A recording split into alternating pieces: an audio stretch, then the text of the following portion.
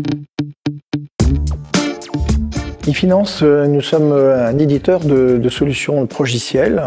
Euh, aujourd'hui, on est le numéro un européen dans le domaine du TMS. Alors, nous sommes partenaires des FCG parce qu'on s'adresse principalement aux directions financières et comptables des entreprises. Donc, ça nous permet de garder le dialogue avec eux, de savoir quelles sont les, évolutions qu'elles souhaitent, les, les, nouvelles fonctionnalités qu'elles aimeraient voir dans, nos solutions. Quant au trophée, bah, c'est toujours intéressant, comme on l'a vu d'ailleurs aujourd'hui, de rencontrer des nouvelles personnes avec des nouveaux projets, des projets qui sont souvent novateurs et qui nous font réfléchir sur euh, ce que demain sera peut-être la, la direction financière des entreprises.